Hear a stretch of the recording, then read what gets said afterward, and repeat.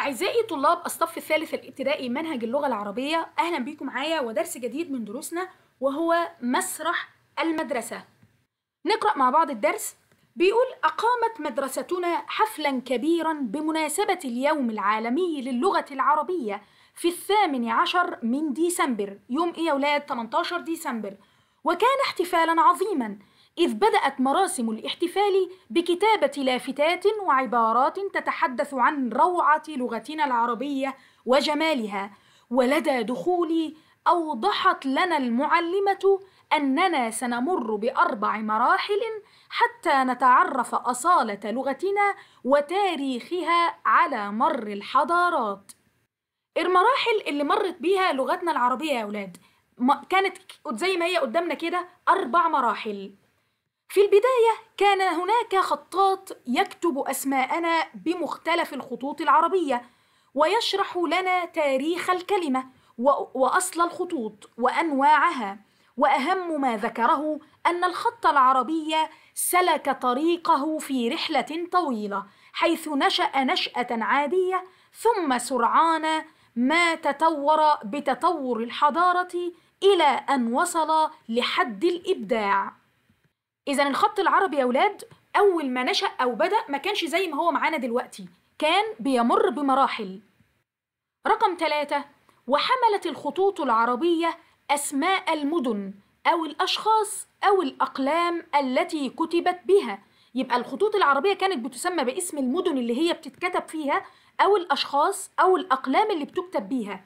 ومن أهمها النسخ والرقعة. والكوفي والفارسي والديواني وخط الثلث وغيرها الكثير. وطلبت منه أن يكتب اسمي بالخط الكوفي على لوحة لأعلقها على باب غرفتي. يبقى يا ولاد التلميذة دي هي اللي طلبت من الخطاط إنه يكتب لها اسمها بخط إيه يا ولاد؟ بالخط الكوفي علشان تعلقها على باب الغرفة بتاعتها. بعد كده ثم انتقلنا للمحطة الثانية وفيها مررنا برجل يحمل على كتفيه صندوقا يطلق عليه صندوق الفرجة. فتعجبنا منه فحكى لنا قصته قائلا منذ سنوات طويلة اختفت مهنتي يعني وظيفته راحت فقد كنت أحمل على ظهري صندوقا خشبيا مستطيل الشكل يحوي عجائب الصور وغرائب القصص. كان. كان معايا ولاد صندوق بيحملوا على ظهره فيه عجائب الصور وغرائب القصص. وأسير به في الشارع وأردد عبارات شعبية طريفة. وقام هذا الرجل باستخدام الصندوق وروى لنا قصة من التراث من قصص كليلة ودمنة. وقمنا بالتقاط الصور معه وانتقلنا بعدها إلى المسرح وقد امتلأ بالعديد من الشعراء الذين قاموا بإلقاء الأشعار الفصيحة وتهللت وجوه الجميع لفصاحتهم وأدائهم المميز. في الختام تحدثت مدير تحدث مدير المدرسة عن اللغة عامة واللغة العربية خاصة. يبقى كان بيتكلم عن جميع اللغات ولكن بالذات اللغة العربية. وكان حقا حديثا شائقا. وأكثر ما لفت انتباهي في حديثه أنه قال إن اللغة العربي إن اللغة بشكل عام وسيلة التواصل الأولى بين البشر ومع تعدد الشعوب والأجناس والقبائل تعددت اللغات وأصبحت كل لغة تعبر عن ناطقيها وتشكل جزءا لا يتجزأ من تاريخهم وثقافتهم فاللغة هي هوية الإنسان والشيء المعنوي الذي يدل على انتمائه وعرقه وثقافته. بعد كده يا أولاد ننتقل لأهم الشخصيات التي وردت في القصة. طبعا التلميذة اللي هي اللي كانت بتكلمنا وبتحكي لنا المعلمة الخطاط رجل يحمل صندوق الفرجة العديد من الشعراء ومدير المدرسة. طيب الزمان بتاع القصة كان إيه؟ الثامن عشر من ديسمبر. المكان كان إيه يا ولاد؟ المدرسة. أحداث البداية الحاجات اللي حصلت في بداية القصة إقامة المدرسة حفلا بمناسبة اليوم العالمي للغة العربية. وإيه كمان؟ كتابة لافتات تتحدث عن روعة اللغة العربية. طيب أحداث الوسط أو المشكلة اللي كانت في نص القصة؟ المرور بأربع محطات اللي هي اللغة العربية. مرت بأربع إيه؟ محطات لتعرف أصالة وتاريخ اللغة العربية. واحد الخطاط وحديثه عن أنواع الخط وتطوره. دي أول مرحلة من مراحل تطور اللغة العربية. أو أو خطها. اثنين رجل يحمل صندوق الفرجة يحكي لنا قصة من التراث. ثلاثة إلقاء الشعراء أشعارا فصيحة. أربعة كلمة مدير المدرسة عن اللغة عامة واللغة العربية خاصة. بعد كده نهاية القصة أن اللغة وسيلة تواصل هي اللي بتخلينا نتواصل مع بعض كبشر.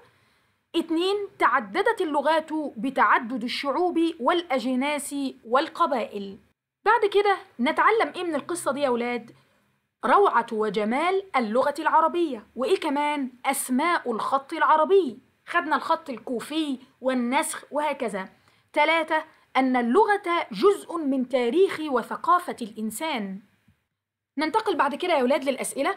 بيقول لي نشاط واحد ضع تحت كل صورة اللغة المناسبة لها هندية أم عربية أم إنجليزية هنشوف اللغة ونعرف طبعا اللغة العلى ط- الأولى على طول إيه يا ولاد؟ طبعا من الحروف عرفنا إنها لغة عربية طبعا طيب اللغة التانية دي لغة إيه؟ برافو عليكم إنجليزية إحنا طبعا عارفين برضو الحروف الإيه؟ الإنجليزية اللغة الثالثة لغة ها هندية. اللغة الإيه يا ولاد؟ الهندية. بعد كده يا ولاد نشاط باء بيقول لي ضع علامة صح تحت الكلمة المناسبة للغة. بيقول لي هنا اللغة الإنجليزية. طبعا أنا بخير دي عربية. الإنجليش إيه؟ أو الإنجليزية I'm fine. برافو عليكم. طيب اللغة العربية. هنا مصري هنا Egyptian طبعا هو طالب اللغة العربية تبقى مصري. برافو عليكم. تالت حاجة اللغة الصينية اللغة الصينية. هنا my friend. طبعا دي إيه؟ صديقي باللغة الإنجليزية.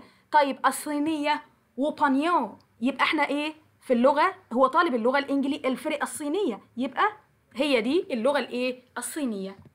بعد كده يا ولاد بيقول لي صل بالمعنى المناسب للكلمات الملونة في كل جملة مما يلي أول جملة بيقول لي سلكت مياه النيل طريقها إلى مصر. سلكت اللي هي الكلمة الملونة. معناها إيه يا ولاد؟ يعني سارت فيه. طيب القصص تحوي العديد من القيم. تحوي يعني إيه يا ولاد؟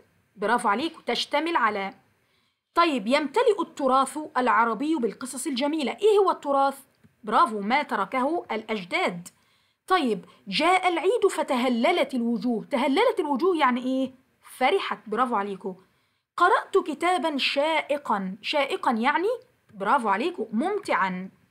الشعر جزء لا يتجزأ من تاريخ العرب. لا يتجزأ يعني إيه؟ لا ينفصل. بعد كده يا ولاد بيقول لي ضع علامة صح أمام الجملة الصحيحة وعلامة خطأ أمام الجملة غير الصحيحة. واحد أقامت المدرسة حفلا بمناسبة اليوم العالمي للغة العربية؟ طبعا صح زي ما إحنا خدنا في الدرس. اتنين الخط العربي له شكل واحد ومميز منذ البداية؟ ولا مر بأربع مراحل؟ يبقى الإجابة خاطئة. ما ما كانش مم... ما كانش ليه شكل مميز ومحدد من البداية. بعد كده تحدث مدير المدرسة عن اللغة بشكل عام واللغة العربية بشكل خاص؟ طبعا صح زي ما خدنا في الدرس. بعد كده يا ولاد اللغة لا تعد جزءا من ثقافة وتاريخ أهلها؟ لا طبعا الكلام خطأ. طبعا تعد جزءا من ذلك. الشعر جزء لا يتجزأ من تاريخ العرب؟ طبعا. يبقى الإجابة صحيحة. بعد كده يا ولاد بيقول اقرأ ثم أكمل. في قصة مسرح المدرسة نحتفل باليوم العالمي للغة العربية في يوم في يوم كام يا ولاد؟ الثامن عشر من شهر إيه يا ولاد؟ من شهر ديسمبر برافو عليكم بعد كده كان الرجل يحمل صندوقا يسمى برافو عليكم صندوق صندوق إيه؟ الفرجة صندوق إيه يا ولاد؟ صندوق الفرجة بعد كده يا ولاد أقامت المدرسة حفلا بمناسبة طبعا إيه؟ اليوم قولوا معايا العالمي لإيه يا ولاد؟ للغة العربية اليوم العالمي للغة العربية طيب بيقول إن مدير المدرسة ذكر مدير المدرسة أن اللغة وسيلة إيه الأولى؟ وسيلة الإيه؟ برافو عليكم التواصل الأولى بين الإيه؟ بين البشر. بعد كده يا ولاد بيقول لي اقرأ القصة ثم ضع كل مرحلة في مكانها. المراحل اللي مر بيها الخط العربي علشان يبقى في شكله اللي إحنا عارفينه النهارده. إلقاء الشعر الفصيح، كلمة مدير المدرسة، صندوق الفرجة، الخط العربي وتطوره. الأولى كانت إيه يا ولاد؟ الأولى كانت برافو عليكم الخط العربي وإيه؟ العربي وتطوره دي كانت أول إيه؟ أول مرحلة طيب المرحلة الثانية كانت إيه؟ كانت صندوق صندوق إيه يا ولاد؟ الفرجة صندوق الفرجة طيب المرحلة الثالثة كانت إيه؟ برافو عليكم إلقاء الشعر إيه؟ الفصيح إلقاء الشعر الفصيح والمرحلة الرابعة كانت إيه؟ كلمة مدير المدرسة كلمة مدير إيه يا ولاد؟ مدير المدرسة.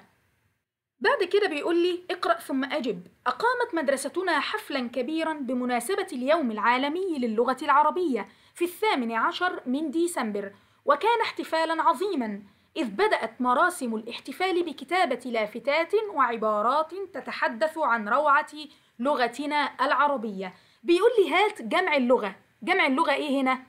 برافو عليكم اللغات. طيب مفرد لافتة لافتات عفوا. مفردها إيه؟ برافو عليكم لافتة. طيب أذكر تاريخ اليوم الذي أقامت فيه المدرسة الحفل. طبعا الثامن عشر من إيه؟ من ديسمبر. الثامن عشر من ديسمبر. بما بدأت مراسم الاحتفال بدأت بإيه يا ولاد؟ برافو عليكم بكتابة لافتات وعبارات بكتابة إيه؟ لافتات وعبارات تتحدث عن روعة لغتنا العربية. بعد كده يا ولاد بيقول لي استخرج من الفقرة اسما زي كلمة إيه اللي وردت في الفقرة؟ مدرستنا. طيب استخرج فعل. برافو عليكم أقامت. تبقى إيه؟ أقامت. حرفا زي إيه؟ زي مثلا في حرف الجر. كلمة بها لام شمسية. زي كلمة إيه؟ الثامن. الثامن. طيب كلمة بها حرف مشدد. زي كلمة إيه؟ للغة اللي هي والإيه؟ اللام التانية دي.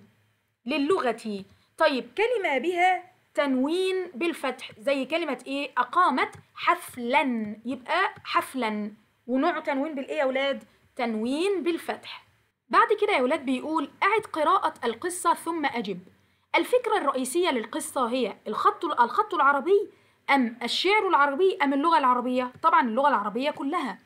بعد كده حملت الخطوط العربية أسماء ها أسماء المدن برافو عليكم أو الأشخاص برافو أو الأقلام التي كتبت بها.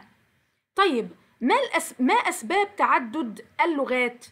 بعد كده يا ولاد بيقول لي ما أسباب تعدد اللغات؟ إيه اللي خلى اللغات متعددة؟ بسبب تعدد إيه يا ولاد؟ بسبب تعدد ها القبائل برافو عليكم القبائل والأجناس أجناس الناس يعني وإيه كمان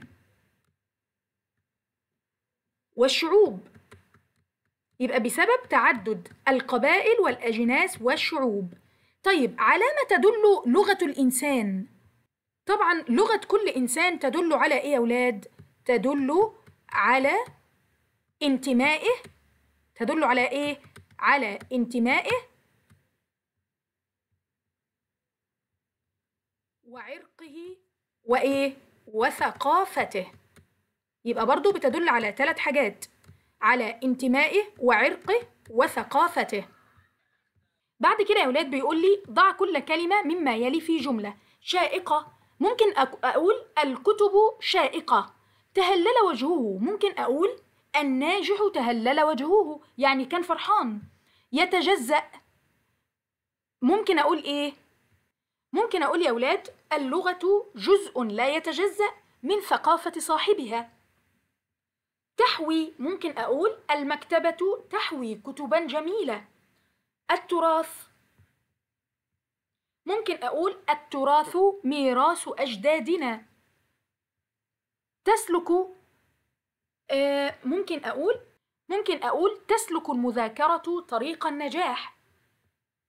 بعد كده يا ولاد بيقول لي اقرأ ثم كون أفعالا من الحروف التالية. الفعل الماضي. جايب لي هنا بيقول لي الماضي عندي راء باء شاء شين. تبقى إيه؟ برافو عليكم تبقى شاربا يبقى الفعل الماضي إيه؟ شربا بعد كده لام جيم سين. تبقى إيه؟ برافو عليكم جلسا فعل إيه؟ وهو فعل ماضي. نيجي للفعل المضارع. ها؟ يبقى إيه؟ برافو عليكم يشربوا والفعل المضارع هنا إيه؟ يجلسوا طيب الفعل الأمر ها؟ لما أجي أمر حد علشان يشرب أقول له إيه؟ برافو عليكم. أقول له اشرب.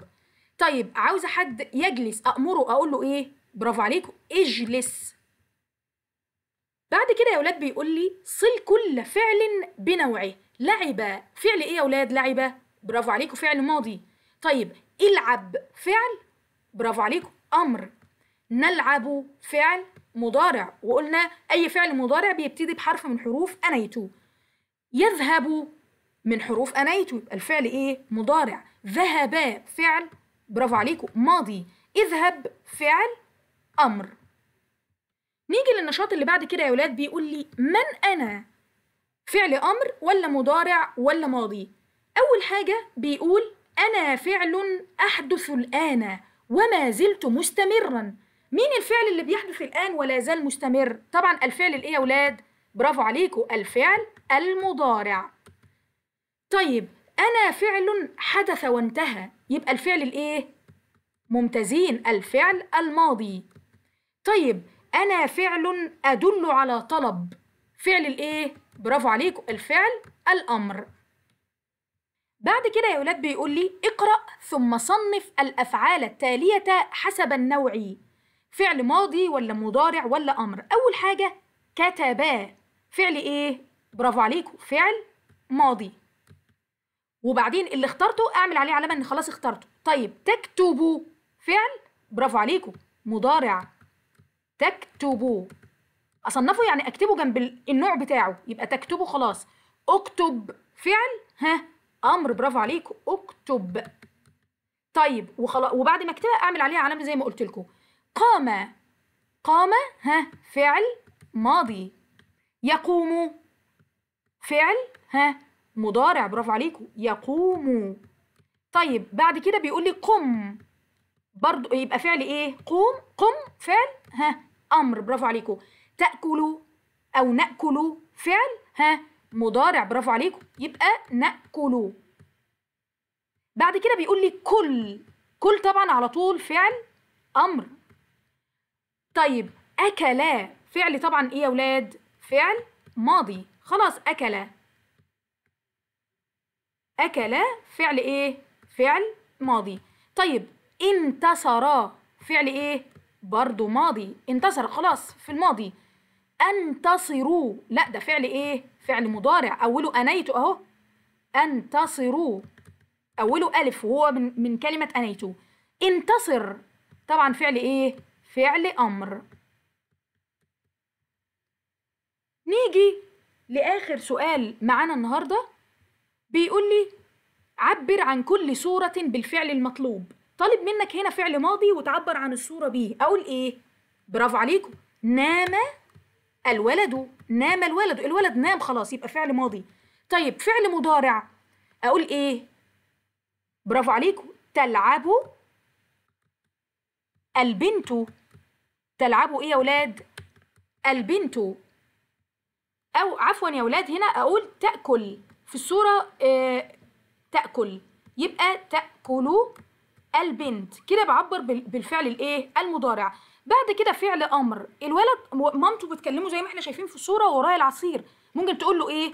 برافو عليك اشرب برافو عليكم اشرب العصير. يبقى اشرب هنا فعل إيه؟ فعل أمر. وبكده يا ولاد خلصنا الدرس بتاعنا النهارده واشوفكم ان شاء الله في الدرس اللي جاي. ويا رب ان شاء الله تكونوا استفدتوا.